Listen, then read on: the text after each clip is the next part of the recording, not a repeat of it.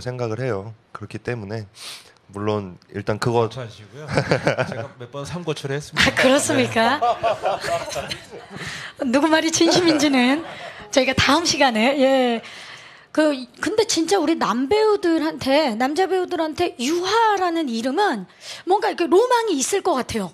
그런 느낌. 네 그런 게 진짜 있습니다. 어. 뭔가 그 남자의 남성성을 돋보이게 해주시는 감독님으로 또 유명하시고 전작들도 그렇고 그렇죠. 네, 네. 어, 자 지금 김래원 씨가 약간 마이크를 잡았다가 내리셨어요. 예. 아니 제가 할 얘기 다 하셔갖고 민호 씨가 검색어를 쳐보면요 정영돈 저, 누구니 그, 그 개, 개그맨 정영돈 씨요? 정영돈 씨 따님이 유아더라고요. 아 축하드립니다. 예. 굳이 정말 상관이 없는 얘기를 밑도 끝도 없이 해주셨어요 감독님. 예. 이게 감독님식 유머예요. 예. 감독님 지금 유머. 힘들었습니다 촬영 기간 동안. 어, 김래원 씨도 그러면 유하라는 이름만으로 하셨습니까? 아 그럼요. 예. 뭐 민호 씨 금방 얘기했지만 예. 남자 배우들이라면 한 번씩은 생각할 거예요. 꿈꿀 거예요. 예. 최고의 찬사 아닙니까? 감독님으로서 배우들이 그냥 시나리오도 안 보고 나는 그 감독님의 이름만으로도 하겠다. 그럴 리가 있겠습니까?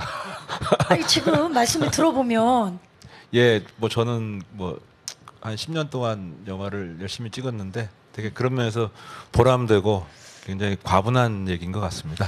아 좋습니다. 자 그렇다면 우리 정진영 씨도 안 여쭤볼 수가 없죠. 정진영 씨 출연 어, 계기.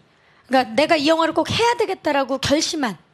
뭐 당연히 유아 감독님을 제가 원래 좋아하는 감독님이셨고 시나리오 봤는데 어, 아주 재밌는 이야기더라고요. 뭉클하고 감독님 영화의 특질은 그런 것 같아요. 저랑 이제 동시대 제가 한 2년 후배인데 나이로 어, 굉장히 찐해요.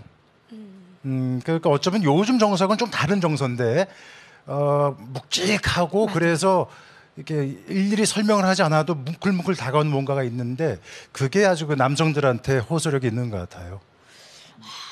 그 지금 세 분의 얘기를 이렇게 쫙 듣고 나니까 사실 제 주위의 남성분들도 유아 감독님의 영화는 꼭 찾아서 보거든요. 그런 또 느낌이 남성의 진한 그런 느낌이 있는 거죠. 예. 그러니까 왜 그 안에 음. 남자들끼리 포장마차에서 소주 한 잔 뭔가 그런 느낌이 있잖아요. 그렇죠. 감독님의 대본 안에는 뭔가 그런 느낌이 있는 것 같아요. 대본에 칵테일은 아니고요. 감독님 오늘 큰 욕심 많이 내고 계세요. 아까 전영조 씨 따님 얘기부터 예. 그나저나 정진영 씨는 지금 저기 황정민 씨가 찾고 계세요. 아버지 지금 계속 찾고 계시는데 예 지금 어, 황정민 씨가 못 만난 아버지가 지금 이민호 씨 아버지로 어, 그렇게 됐어요. 예, 예. 자, 좋습니다. 지금 어, 감독님에 대한 믿음 때문에 함께하게 됐다라는 배우분들의 얘기가 있었고요. 그렇다면 이제 감독님한테 마이크를 넘겨서 자 그렇다면 감독님이 세 분을 캐스팅하게 된 이유. 어, 왜 한숨을. 쉬세요, 감독님? 그 이민호 씨 같은 경우는 잘생겼잖아요. 이렇게 1970년도 배우들이 참 잘생겼습니다. 신성일 씨도 그렇고 잘생기셨죠. 남궁원 씨도 그렇고 잘생기셨죠. 뭐 지금 배우들한테 미안한 얘기지만 훨씬 아우라가 있던 배우들이 많았어요. 이민호 씨가 그 계보를 잇지 않나 하는 생각이 있었고요. 오, 그- 자 이렇게 되면 자 김래원 씨가 뭐가 됩니까? 자, 자 계보를 신성일. 아니, 레온 씨도 잘생겼는데 네. 민호 씨가 좀 더 잘생긴 것 같아요. 네. 근데 아, 미- 아니 근데 그 나이가 좀- 70년대 네. 느낌으로 봤을 그렇죠, 때, 그렇죠. 예, 70년대 시각으로 70년대 봤을 시각으로 때, 봤을 때는 그 남궁원 씨라든지 예, 그 예. 강신성일 선배님의 느낌이 있다. 바다 건너서 예, 알랑드롱. 그죠 알랭 들롱 느낌이죠. 이쪽은 록 허드슨. 굉장히 이국적인 그런 느낌이 있습니다. 예. 네온 씨는 약간 록허, 록 허드슨 닮았어요. 누구요? 록 허드슨이라고 록 허드슨요. 예전에 자이언트에 나왔던 아, 박- 박경림 씨랑 저랑 사, 저 세대 차이가 좀 나는군요. 예, 저는 진작부터 느끼고 있었는데, 예, 예. 감독님, 예. 아니, 죄송합니다, 감독님. 예. 진작부터 느끼고 있었, 예, 예. 자, 그래서 민호 씨 같은 경우는 이제 그 70년대 그 MSG가 없는 얼굴. 예, 굉장히 어, 찬사가, 예. 오! MSG가 없는 얼굴이란 얘기 들어보신 적 있어요, 살면서? 아니요 처음 들어봤습니다. 와! 어, MSG가 없는 얼굴. 그러니까 조미료가 없는 그렇죠. 천연의 그냥 그 재료만 가지고 음식 깊은 맛을 낼 수 있는. 자, 이렇게 되면 김래원 씨 궁금합니다. 레온 씨도 마찬가지예요. 조미료가 없나요? 예. 예. 네, 재미 조미료가 없고 그냥 음식으로 음식 맛으로 그냥 승부하는 아, 승부하는. 어. 그런 저희 지금 정진영 씨가 네. 나는 이라는 표정으로 정지정 씨가 저보다 두 살 어리다 그래가지고 자- 사실 좀 그랬습니다. 처음에 봤을 때 좀 형님 같았거든요. 두 살 동생이시군요. 네.